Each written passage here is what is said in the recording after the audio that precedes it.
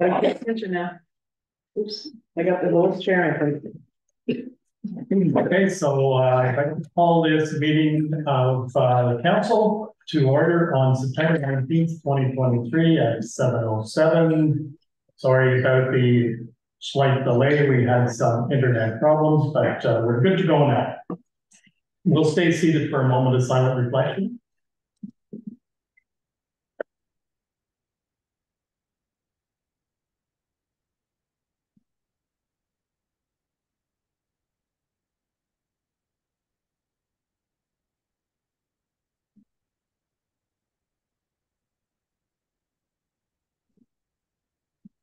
Very much.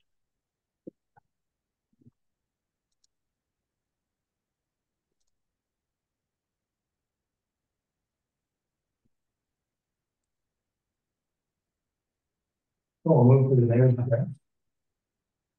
I'd like to extend a happy eightieth birthday to former Mayor Harold Blackworth. Harold is a familiar face as he continues to deliver the mail in our community, something that he's been doing for forty-six years, beginning in nineteen seventy-seven. The Ontario East Municipal Conference was held in Ottawa from September fifth to September the eighth. Thanks to Michelle Mantefel, Cameron Montgomery, and Council Robinson for representing North Algona Wilberforce at the conference. On Wednesday, September fifteenth, twenty twenty-three, I attended the cashing in on cyclotourism workshop in Arnprior. The workshop was an opportunity to explore the opportunities for towns and villages that welcome trail riders to stop, shop, and stay.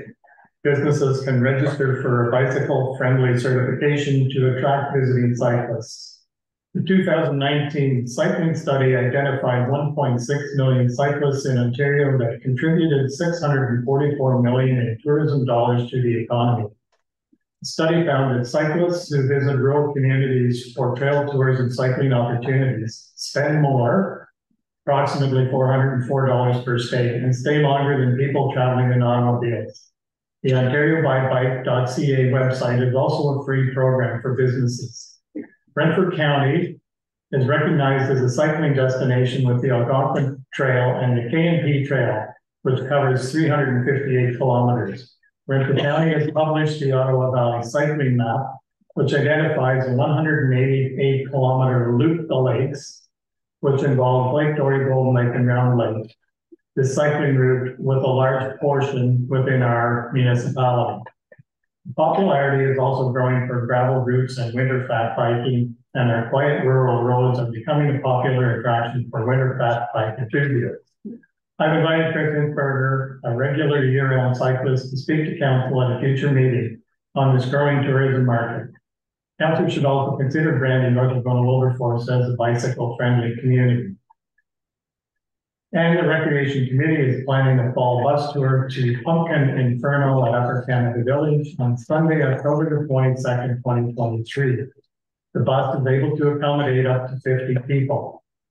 And not on the, uh, on the, uh, address, but just wanted to let people know that Councilor Burns and I attended the kickoff of Legion Week in Eganville on Sunday. And, uh, Councilor Burnt had the lucky table there. I had to leave, so I left my tickets with Councilor Burns. And, uh, I won the 50-50. Councilor Burnt won the 50-50, and his niece won the 50-50, all from the same table. Oh, my goodness. So that is my marriage address. And I have a motion that the September nineteenth, twenty twenty-three marriage address be accepted as presented, moved by Councilor Wright to Schoenfeld, seconded by Councilor Robinson.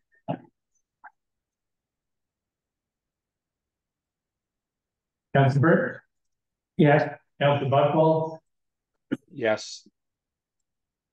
Councilor Robinson, Yes. Councilor Wright to Schoenfeld, Yes, I mean, yes, let.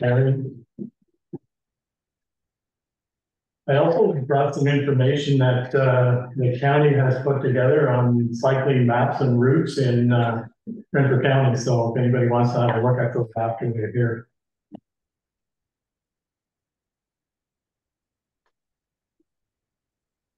Are there any declarations of pecuniary interest in the general nature thereof?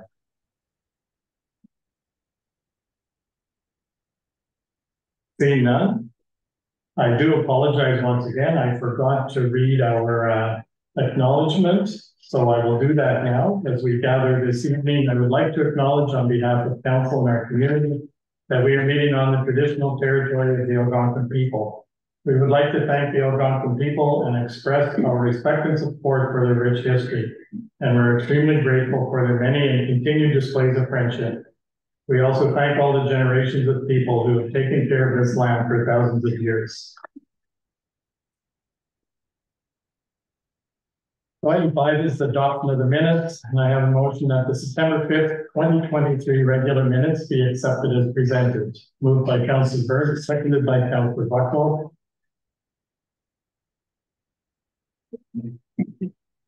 Any additions, corrections, or omissions? Yeah, Council Berg.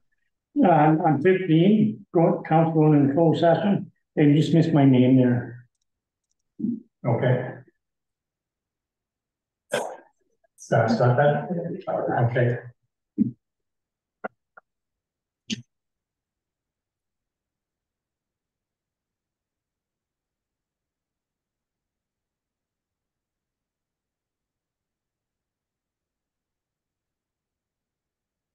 Any other corrections?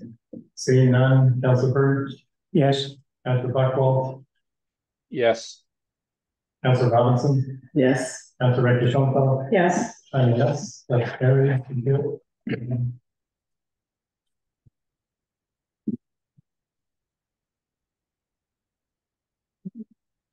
We have no delegations tonight, so item number seven is bylaw enforcement. And I have a motion that council accepts the municipal law enforcement options report of information and further provides direction to staff. And I'm gonna move in a second, moved by council Director Schoenfeld, seconded by council Robinson. Comments, questions? Council Director Schoenfeld, Do you know how much, um, it actually costs the township for the municipal? Like, how much, how much of our budget gets devoted to our current bylaw officer? Um. So to date, uh, for this year, I believe it's less than two thousand dollars. Um. And I would imagine in twenty twenty-two, it would have been less than ten thousand dollars. And, um, the seventy-two hundred plus HST, that's for as many calls as, as, or is it after a certain number of calls, then we pay more, is that like? My understanding is, uh, my understanding is that, um, it's for, there's no cap, um, Okay, on the, uh, the usage that. the- thank you. council Robinson, Um, it was the cost for ten thousand including training. It's not. Cost between the last, last. So that would have been. So I I will provide the actual costs for twenty twenty two to council. Okay, thank you.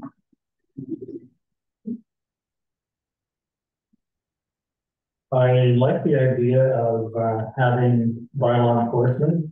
And I like the idea that uh. Somebody else other than our own staff does it. Uh, the fellow that does Renfrew and the other municipalities that's provided the, the uh, quote that uh. Adams and Brumley, that's what they pay for the service. Township report. Well, township report from one. I like the idea that, uh, they provide the service. They do it after hours and on weekends, and it wouldn't tie up our staff, and I think it just makes sense moving forward, rather than eliminating the service altogether. Because people have gotten uh, accustomed to having that availability of, of a bylaw enforcement officer, so. That's my thought. Council Richardson, So for the option two, it's really Monday to Saturday. right? Yes, And then, so then if something were to happen on a Sunday, I imagine there's a call in and they'd investigate that the next day. Or within a certain amount of time. so yes, there is the emergency service complaint line, which is monitored twenty-four seven. And if it was, the call was of an emergency, uh, nature, um, they would respond to this outside of the normal operating hours. Councilor Robinson. Um, the call service, is there a cost to it? The one that's done on evenings and weekends, Sorry. for evenings and weekends, which is often three. So yes, there would be a, a, a cost to, for, uh, a, a service provider to, to do- provide that service for us, yes. You haven't, was there any idea of what that could be approximately? Uh, that, no, unfortunately, I don't have that. uh, Okay, because I think that would, would help in the decision. Councilor Buckland. Uh, just on option three, uh, I've had dealings with Northern Communication, uh, with another township that I was helping out. Um, that, there is a fee for that, but again, that call service doesn't provide any actual bylaw service. They're simply a dispatching system. So they would receive the calls, uh, and then prioritize those calls based on the instructions that we gave them. And then they would either call our own bylaw staff or contract staff. So, um, option three isn't really a bylaw service on its own. It's uh, just a way to get the phones answered after hours. Thank you, Councilor Buckland. Thank you. Uh, Councilor Ricky Jean-Paul, you. Just with option four, do you have any idea what, how much the standby be, standby fee would be? So it would be, uh, uh. So the, the township would, uh, uh. Set the standby fee for, But would it be like fifty dollars a weekend or a hundred dollars? Uh, based on what we pay other, uh, staff for standby, it could range from hundred to hundred thirty dollars per week. Yeah. and that would just be really for the weekends. We still wouldn't have anybody for the week nights. So, so that would be, uh, a standby paid for, uh, after regular hours. Okay, so for that, please, okay. And. Right, we can do that. Councilor Buckland. Um, the other thing with option four, we, we can consider is we can set guidelines as to whether or not we want them to be responding Monday to Friday night.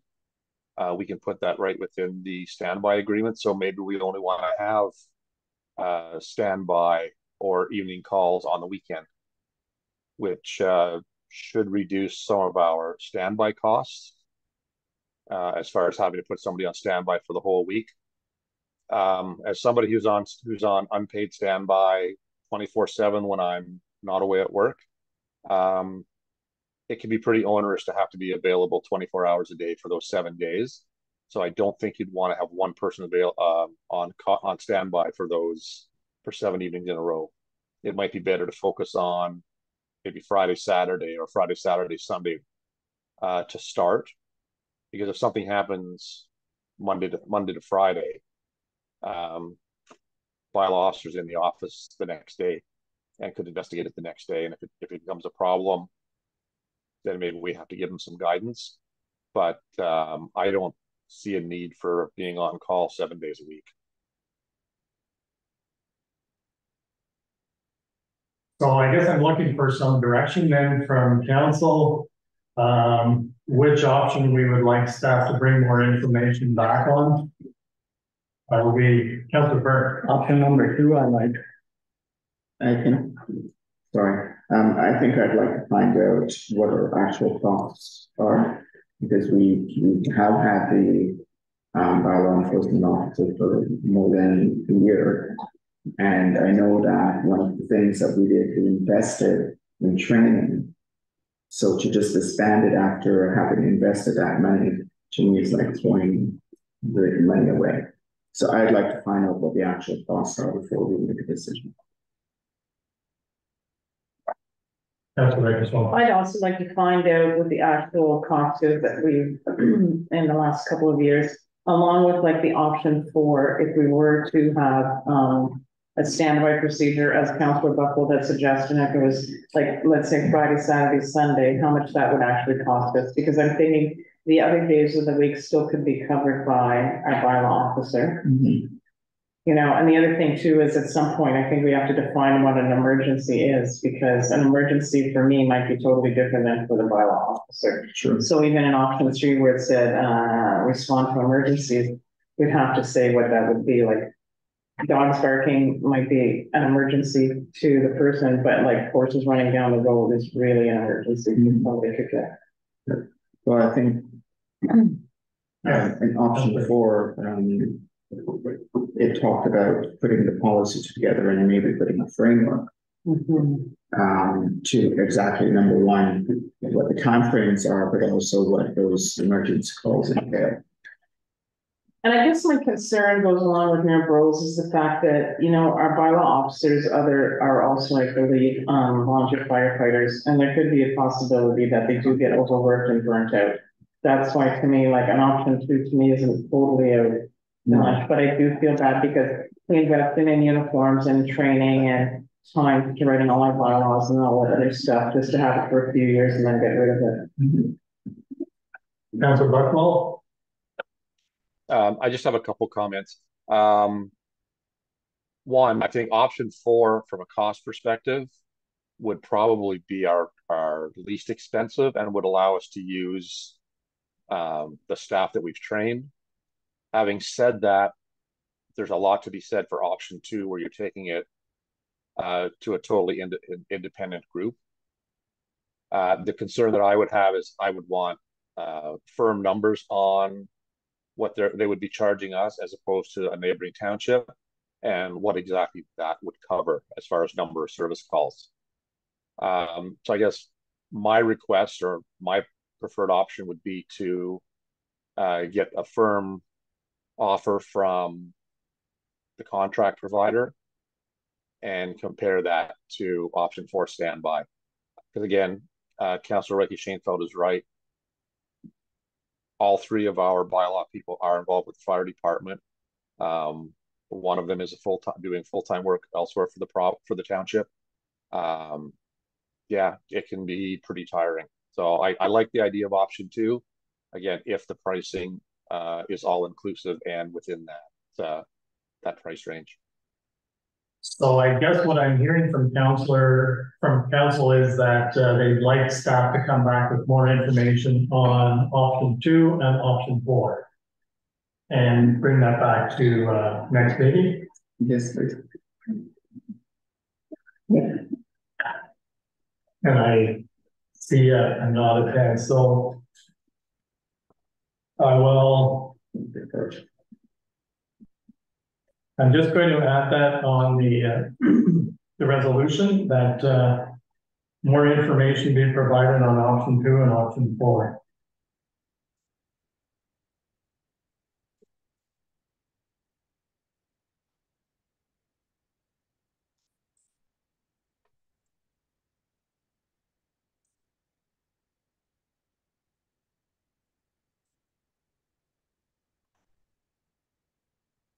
And I'll call the vote, uh, Council Burt, yeah, Council Buckle, Yes. Council Robinson, Yeah, Council Ricky Shaw, Yes. I mean, yes, Council Perry, thank you.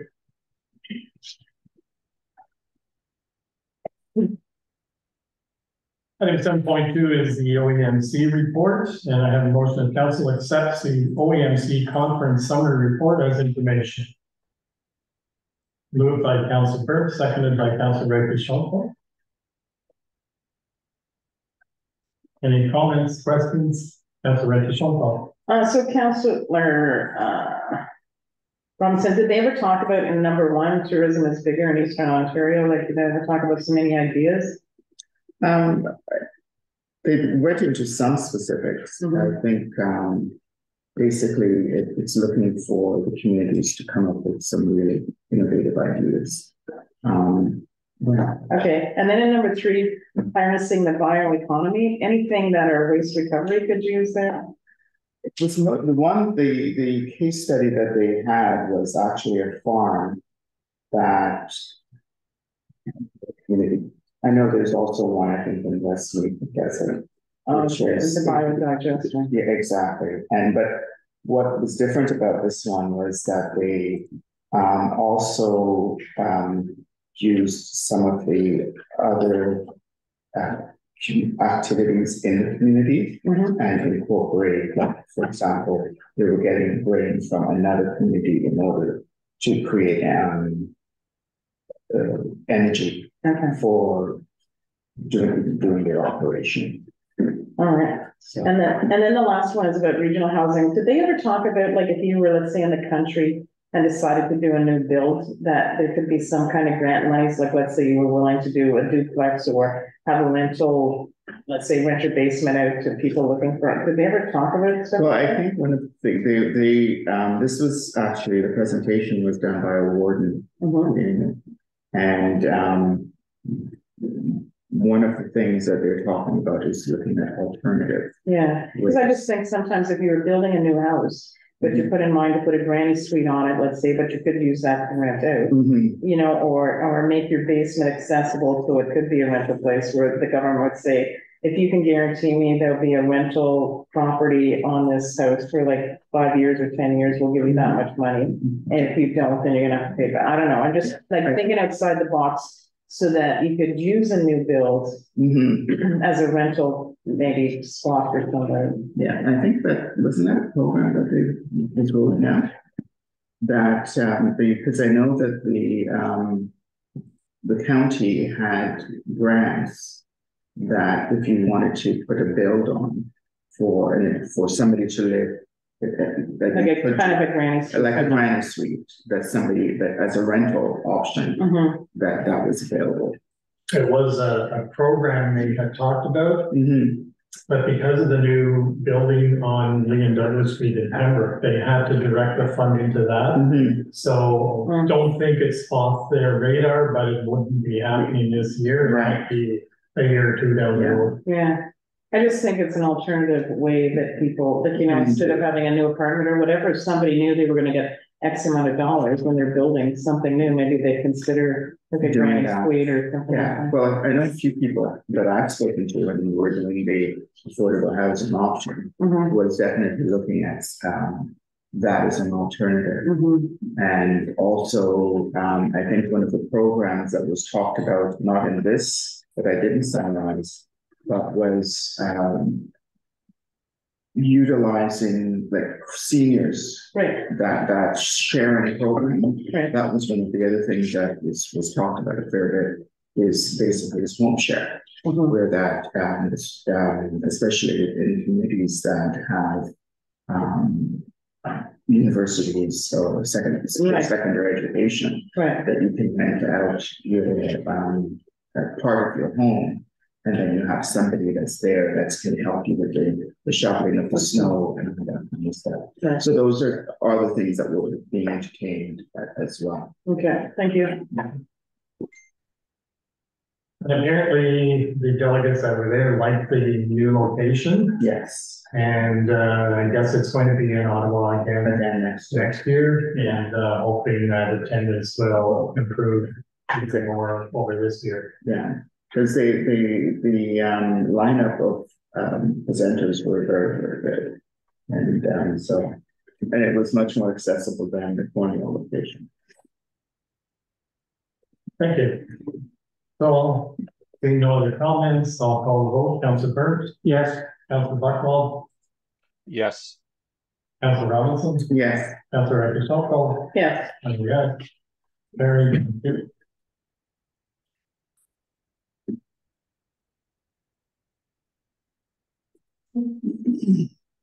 Item seven point three is the action item update. And motion that council accepts the action item list update report as information. Moved by Council Burke, seconded by Council Robinson.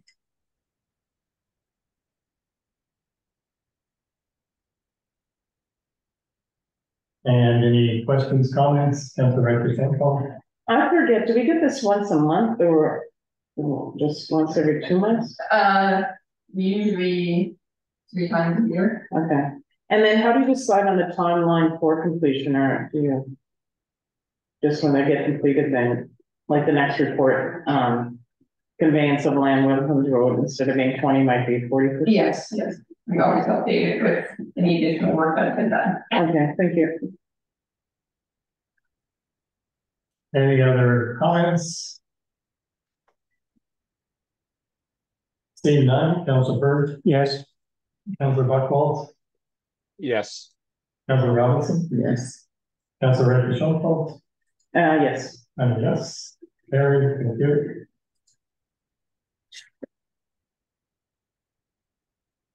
And item seven point four is the treasurer's update. I have a motion of council accepts the treasurer's update report as information. Moved by Council Robinson, seconded by Council Reddish Shonkold. Comments, questions? Council Reddish Shonkold. how do, how do we notify the public then?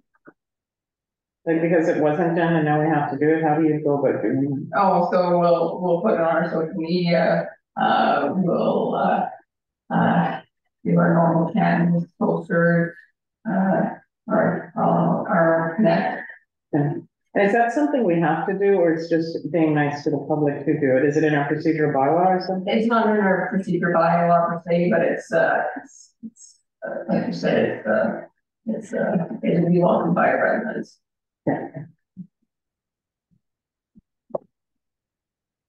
Councilor Buckle.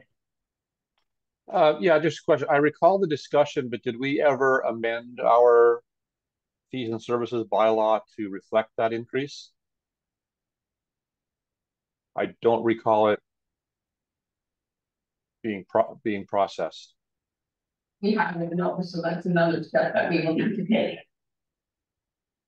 Okay,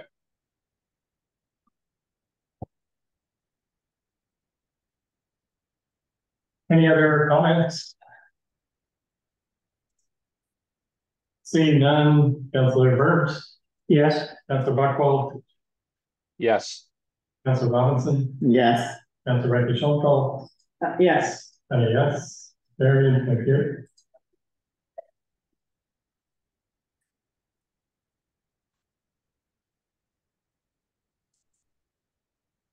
Item seven point five is our National Truth and Reconciliation Day, and I have a motion that council accepts the National Truth and Reconciliation Day report as information. Moved by Councilor Robinson, seconded by Councilor Buckwell.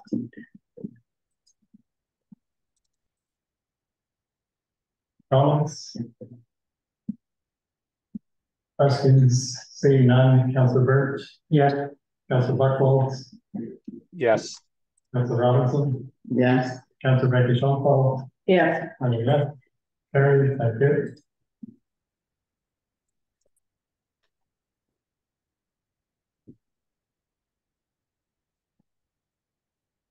Item seven point six is regarding the municipal sign policy, and I more from the council accepts the sign policy report as information and provides direction to staff. And I gotta move in a second, please, moved by Councilor Becky Shonkold, seconded by Councilor Buckwell. Comments, questions? Councilor Becky Shonkold, I like number three. And then we'd also, I know, to get it rocking and rolling, it'll be a little while, but then we'll also always get an annual fee. And I think it's important that we are consistent.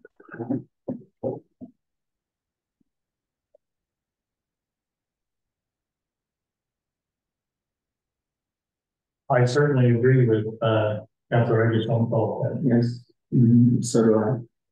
we need a policy because fines are going up on our road allowances and there's no standard and it would be nice, would be nice to have some consistency. Yeah. And you can't regulate what you do. That's right.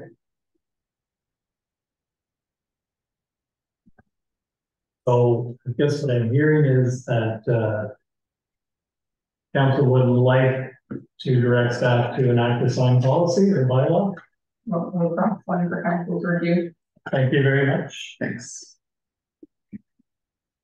And I'll, I'll vote then, Councilor Burke? yes, Councilor Buckwell, yes, Councilor Robinson, Yes, Councilor Reddish Shonkold, Yes, and a yes. Carried, thank you.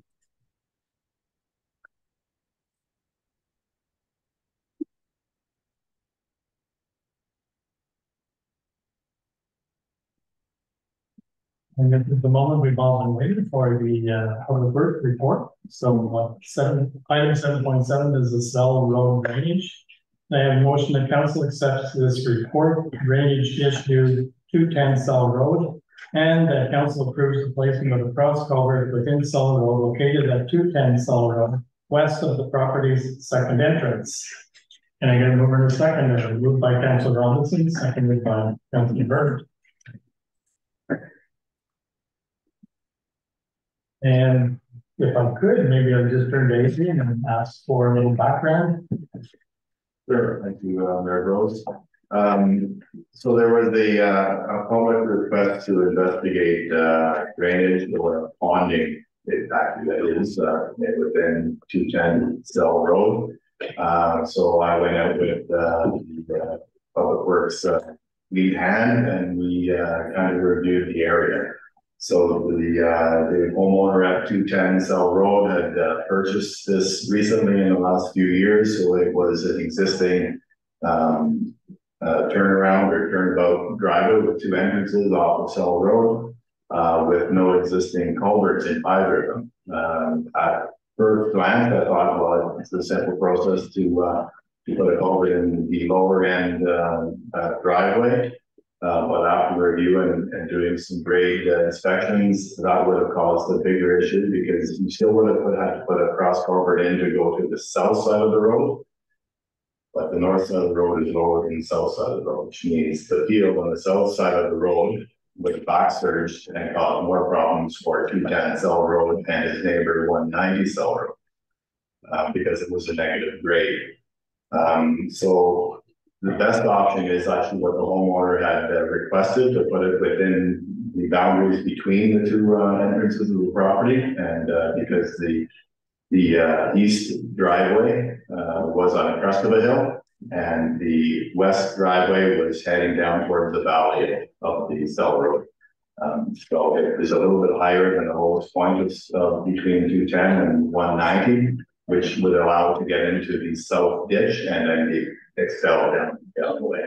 It is quite a large, um, field on the south side, um, so the surge would have been quite significant and it probably would have flooded, uh, two ten and one ninety out if that cross culvert was installed at the lowest point of the, uh, of the road.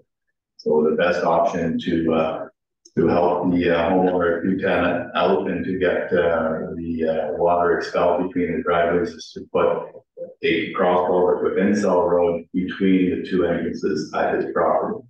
Uh, it is, it is to note that, uh, the water is caused by both the municipal road and the homeowner's property. It's not just, uh, the, the township's issue, I guess, that the, the water has been expelled from his property driveway plus the, the road, so.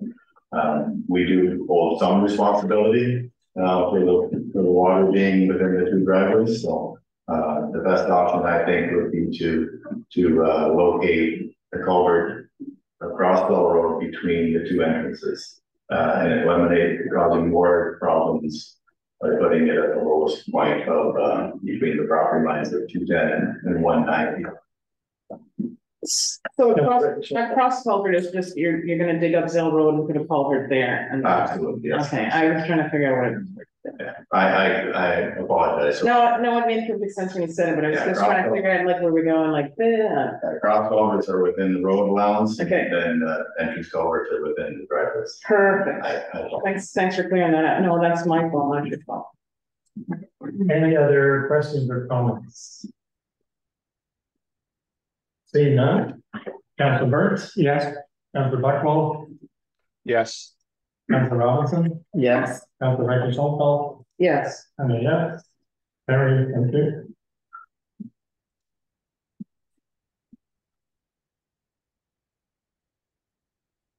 Item nine point one are non-action items.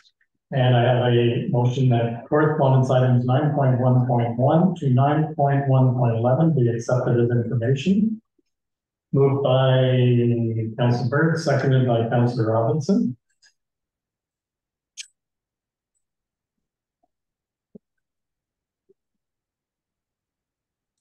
And any comments or uh, one of the items that council would like to pull out and we discuss?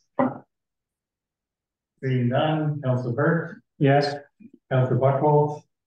Yes. Council Robinson. Yes. Council Rector Schoenfeld, Yes, I'm a yes, very, thank you. Item nine point two point one is the Renfrew County Regional Science and Tech Fair. And I have a motion that council donate two hundred dollars as an individual sponsorship, sponsorship from council's donation budget. Can I get a mover and a seconder? Moved by Councilor Byrne, seconded by Councilor Robinson. Comments or questions? Seeing none, Councilor Burt, yes, Councilor Buckwalt, yes, Councilor Robinson, yes, Councilor Renfrew Schoenfeld. yes, Uh, yes, that's very, very good.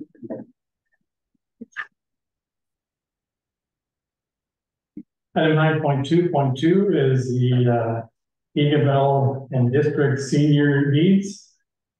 And I have a motion that council hereby appoints. And it's blank to be the municipal representative to attend the conversation cafes as part of the and District Seniors Reimagining and Reactivating Communities Project.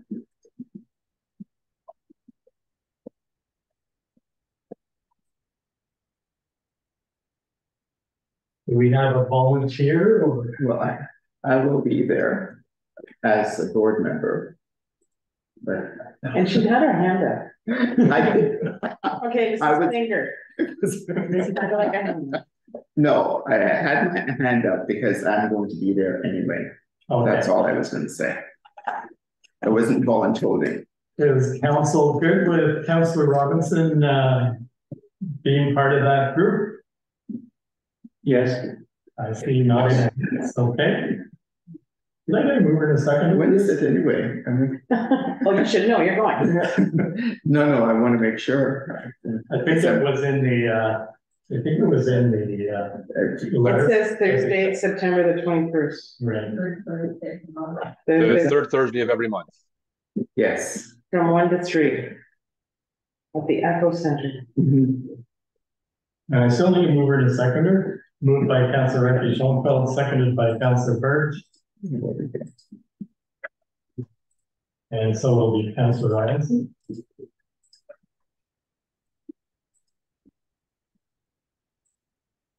And I'll call the vote, Councilor Burt, Yeah, Councilor Buckwell, Yes, Councilor Robinson.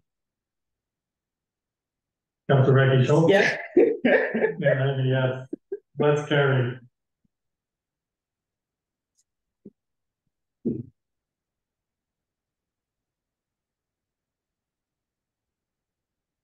Item nine point two point three is the uh county of Renfrew, and this is in regards to development fees.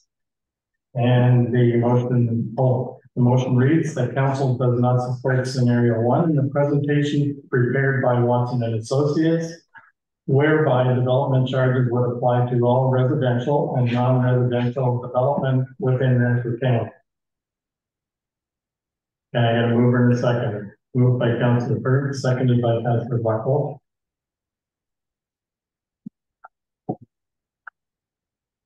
Comments, questions?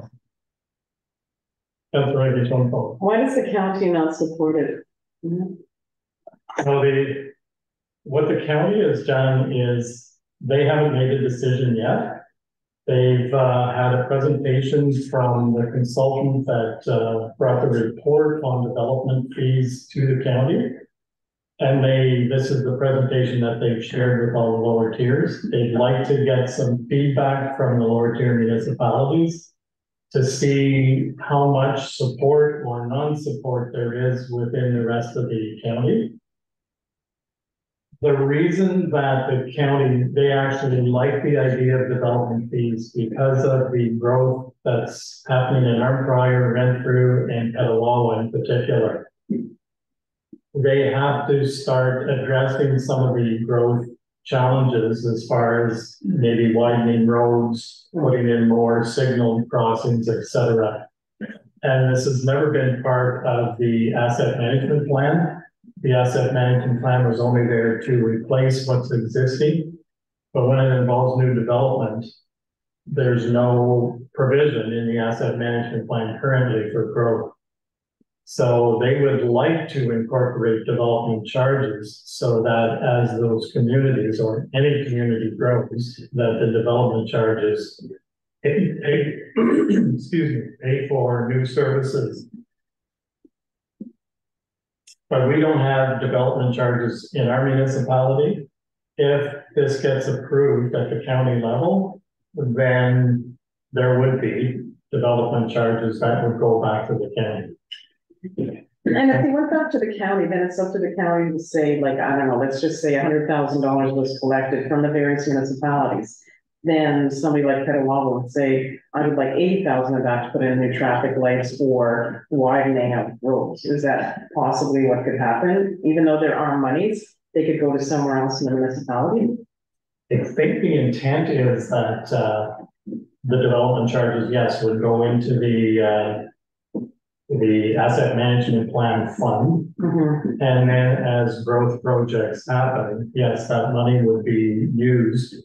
I don't know if it would be percentage based or if it would just go according to the uh, priorities that would be set and So, so like it would be not advantageous for the smaller municipalities because we'd be having development charges, but we never really reap the benefits of it. I guess you could say if we were driving somewhere and the road was widened, I guess that would be a benefit, but not, it would be an indirect benefit and not a direct benefit.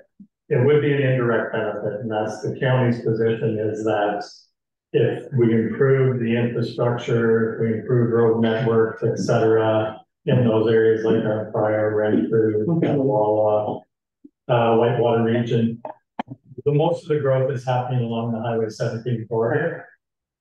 And those are the areas that are needing some changes as far as whether it's wider roads or more signal crossings, you know, Right, that's the, the county's position is that, yes, it's not directly benefiting every municipality, but indirectly, we all benefit because we're improving the county as a whole. So That's what I'm- maybe I misunderstood where the development charges was going to be levied was on the corridor. Or is it going to be throughout the percentage? Well, there's, the county is looking at two possibilities. One is just along the Highway seventeen corridor, Yes. but the other one is countywide. So. And, and that was where I, I sort of said I have to read this again. Was one of the three scenarios was the four seventeen corridor. Yeah, The other was that basically any development within the county. Or municipality, irrespective of the municipality, would have a levy based on. Whether they're going to benefit from those directly benefit. that's correct, yeah. Now, I guess the question is, if the county is putting on a levy. Um, how does that relate with our building permits for we also? Have the position to say have development charges? Maybe that's a good question that staff can answer. Sorry, and the question again was? The question is, okay, the county is putting on a levy for DC charges. Um, we are, where we're getting our revenue is from the building permits. Mhm. Would that then? Would there be a consideration then to say, okay, fine, along with the building permits? That there's a possibility that we add something to the DC charges? The municipality. Yes. So, so we would have to go through the similar process that the county of Vancouver is doing right now, so they commissioned a study. Uh, to, to look at the relevant charges, and if they, uh, proceed to, uh, approve one of the scenarios, then they will need to do a bylaw, so there's, there's a, uh, a process you need to go through. Uh, to implement development charges in your municipality, But. but, uh, but, yeah. Okay. And probably when they develop their bylaw, they would have a set schedule of fees for. Whether it's buildings or whatever percentage that they would want to uh add on to. Mhm. And we would just collect that and it would the pass through to the county, is that the way it would work, or do we know? Uh, we, it's not clear in the report how it would be, uh, fees would be collected. Okay. I guess from a personal standpoint, I'd rather have the four seventeen having the charges, right, along Well, that. of course. You know, That is but then you could realistic. still revisit to see how that went, the money's collected and how would it actually affect the municipality? Mhm. Like, I mean, to me, it just looks like an extra tax that we will be charging somebody. Indirectly, you will take the time to process it all, we will get nothing from it, Mhm. and there's a good chance we will never take from that pool of money. Mhm. Well, and, and that's sort of the, the balancing act that you, that we're looking at. Um, the other thing too is if in our municipality, we decide that we're going to be putting a road in. And it's a road that, you know, that is an expense and usually that is what DC, a lot of the DC charges goes to is to development of, of expanding infrastructure.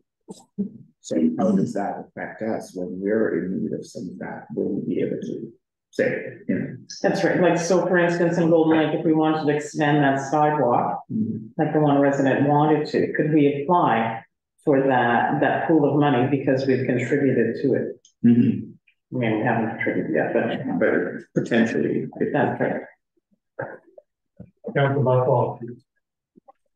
Uh, yeah, I'm just following, following the discussion there, and I don't see that being an action, uh, an option, because as I understand it, um, this development charge being done by the county is to go towards county assets. So I don't see anything that makes it appear as though we would be able to access this for lower tier uh, projects. Even, even if it was, even if they were taking those development charges from across the the entire county from all the townships. Um, as I understand this, those funds would be owned by the county and would go towards county projects. Mhm. So I'm, from my perspective, I think if we have an area that's experiencing the growth, um, that's experienced, experiencing those potential extra needs for county resources, I think that's where the, uh, if the- it's going to go ahead, I think that's where the development charges need to be levied. Uh, I don't think they need to be levied across uh, municipalities that are only having a one or maybe two percent growth. You are correct, Council Buckwell. It's, this is for county assets, these development charges. If we wanted, uh, development charges, we would have to bring in a bylaw on our own for our own municipality and then there would be two charges, one for the municipality and on top of that would be the, uh, development charges for the county.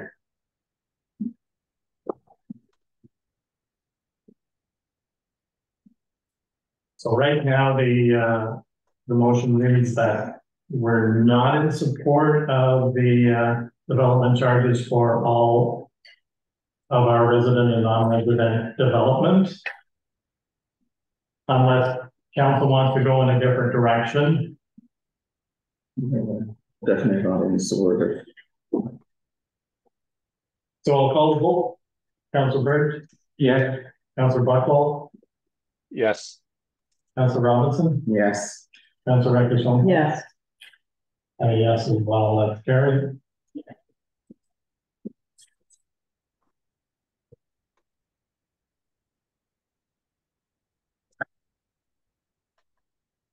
And item ten is bylaws. And I have a motion now therefore the council of North Algona Wilberforce enact the following bylaw, bylaw twenty twenty-three forty-four, which is a road use agreement between Fabian and Griffith. And I'm gonna move in a seconder, moved by Council Bird, seconded by Council Buckle. Comments or questions? Seeing none, Council Bird? Yes. Council Buckle, yes, Council Robinson, Yes. Council Reddish-Sonko, yes, uh, yes. Very, thank you.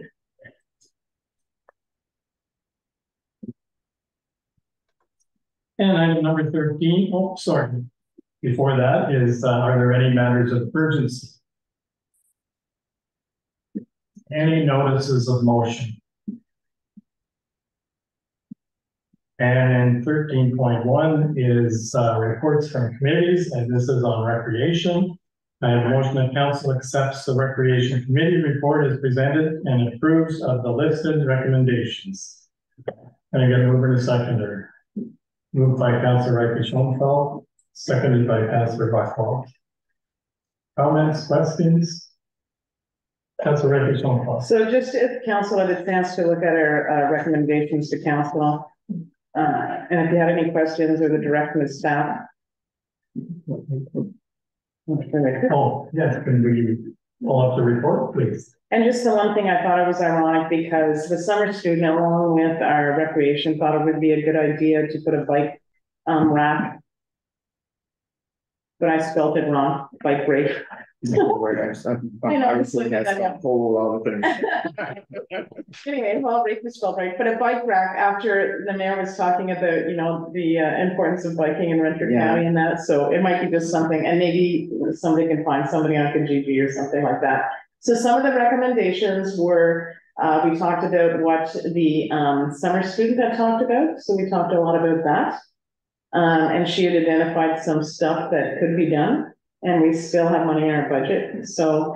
Um, the other thing too was, uh, last year Kevin, there was an issue with Kevin Clark using his truck and float. So, um, the reason we decided to ask council, we're recommending that he use it is, is like a safety concern. The tires for his trailer are put more in, so there's less chance of somebody getting caught. It's easier to put a railing up on his um, trailer, and also the distance between the tailgate and the trailer itself is less than it is with the, um, public works one. Um, it was also noted that there wasn't a first aid kit in the hub. Um, they thought there was one before, but it seems to have disappeared.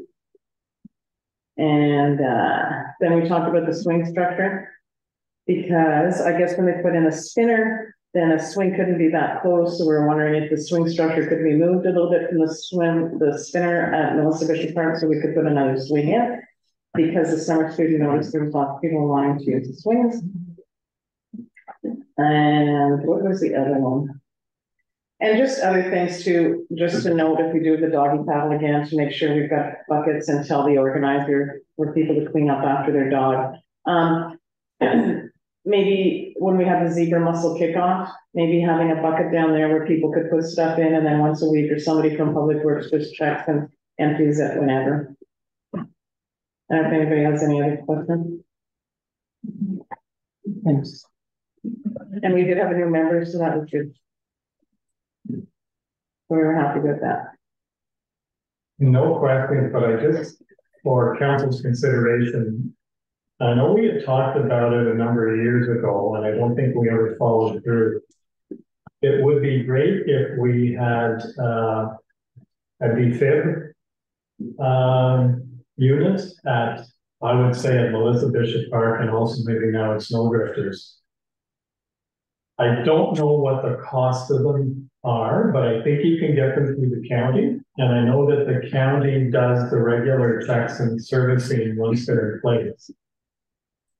So, again, I can't remember, maybe staff could find out from the county what the cost is and uh bring it back to council for consideration at a future date. Moving back to that. And that would be a great idea, especially at snow drifters for a number of different reasons, having all those functions. Yeah. My question would be, if you do ask, and we have one at Melissa Bishop Park, if perhaps like, uh, you know, in the winter time, if it was located there, does that affect its use or not? It's separate inside. Yeah, You can get the outside ones, they they they are in a cabinet and uh they're okay to use, they are designed to be used year round. okay. Councilor Buckle. Uh, I have some experience with AEDs through the, uh, the training that I do. Um, the county, the county public access defibrillation program will provide them, I believe, at no cost, but it's a limited number, uh, and limited, but it's, it's meant for community locations. So I think Melissa Bishop Park, um, would very likely qualify. Um, as far as getting one, if we wanted a separate one for the hub or for any other facilities, um, they're around fifteen hundred dollars uh, for everything that you need. Um, as far as the uh, the heated units for the uh, winter, they can be done Uh, however, you also have concern with keeping them secured. So it would probably be better if we were gonna put them in someplace like Melissa Bishop, that they be inside the building. Uh, so that it can be accessed by people that uh, are using the facility as opposed to just being outside.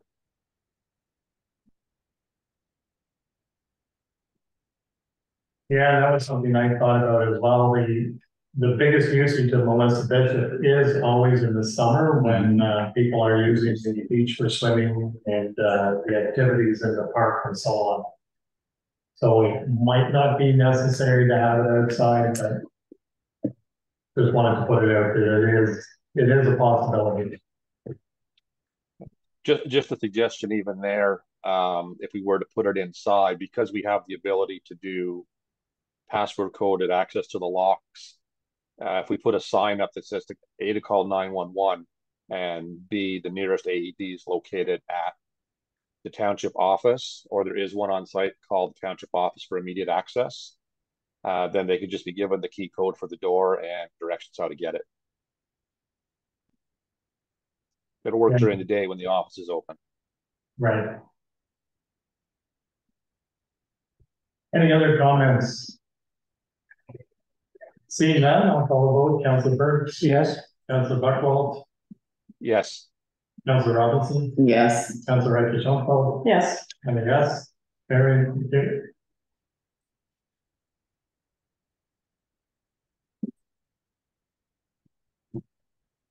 So upcoming meetings and unfinished business. Our next meeting is the advisory committee, uh, advisory committee to council, and which is on September twenty-sixth, twenty twenty-three at seven P M. Our next regular meeting of council is October third, twenty twenty-three at seven P M. Councillor Robinson, I'm going to be absent in both. okay, you know. I will be enjoying myself elsewhere. Councillor Robinson is on a work, This one's not a work. I'm going to Italy. this one is a play. well, it This one's a play. could be work. But could be work. Maybe you can check out the roads, I will check, I will. maybe you can do- check out housing, how they have I'll, the I'll check out roads, I'll check out tourism options. biking, check out, check out the bike rigs. okay, that's noted. Yeah. And we do not have a uh closed session tonight. So item number seventeen is the confirmatory bylaw. And I have a bylaw which reads uh, twenty twenty-three forty-five being a bylaw to confirm the proceedings of council for September twentieth, for September twenty twenty-three. He read it first and second time this nineteenth day of September twenty twenty-three. Can I get a mover and seconder moved by Councilor Ray Chantal, seconded by Councilor Robinson. Read a third time it passed this nineteenth day of September twenty twenty-three. Council Burke, Yes, Council Buckwell, yes, Council Robinson, Yes, Council Ray Chantal, Yes, and the yes, it's carried, thank you. And finally, I have a motion at the September nineteenth, twenty twenty-three regular meeting of council adjourned at eight oh five P M. Moved by Council Burt, seconded by Council Robinson. Council Burt, yes. Council Buckwell, yes. Council Robinson, yes. Council Ray Chantal, yes. and yes, thank you. You guys- Right.